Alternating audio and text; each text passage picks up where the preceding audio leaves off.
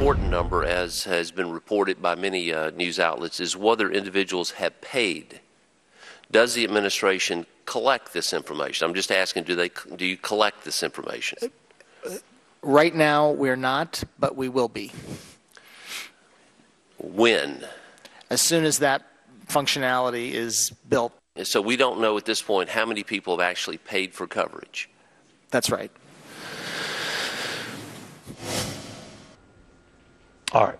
I'm a little slow here, but that means essentially that the White House really does have no idea, for the time being, how many people have actually paid for Obamacare. To the man asking these questions, uh, Mississippi Republican Gregg Harper, because that's a big distinction, as you pointed out, Congressman. And uh, it's one thing for folks to sign up; it's quite another thing for folks to pay it, because technically, you it's like when I go to Amazon.com or pick out items, they might be in my cart, but until I purchase them, uh, I, I, I don't have them. That's right, Neil. Or, or you could just leave the shopping cart right there on the Exactly. aisle and walk out, which a lot of people are doing. But it is beyond comprehension that something this massive and that's been uh, been the, the law for more than three years, they can't even tell me how many people have paid. But what if they actually the know, but they're just not telling you because it's not good? Well, there, Neil, that's a great point, and certainly that's uh, you've got to think that they're not going to tell us anything that doesn't look good, and and the numbers have been less than desirable, even with those that they've kind of leaked out or told us.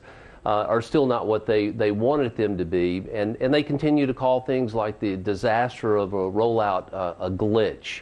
Well, it's much more disastrous than a glitch, and they've, they've tried to downplay the negative uh, info. And you know, all we want are the facts and the truth, and it's just uh, it seems to be difficult to get to.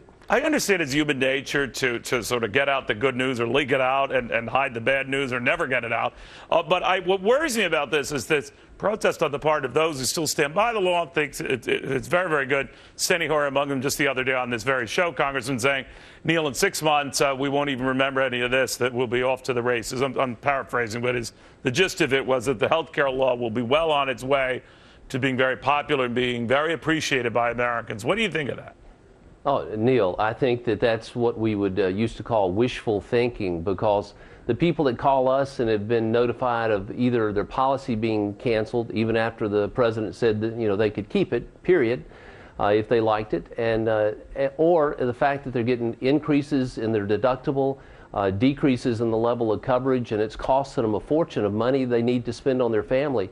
Uh, there's nothing that's going to be good or about that in six months. By the way, And, while uh, I've got you here, this continues. other, I'm sorry, sir, that does stuff about whether insurance companies, if they're ever pushed to a corner like banks were before the meltdown um, or after the meltdown, uh, that Republicans would stand in lockstep against bailing them out, even though they were largely in lockstep about bailing the banks out then. You wouldn't do it with insurance companies now, is that right?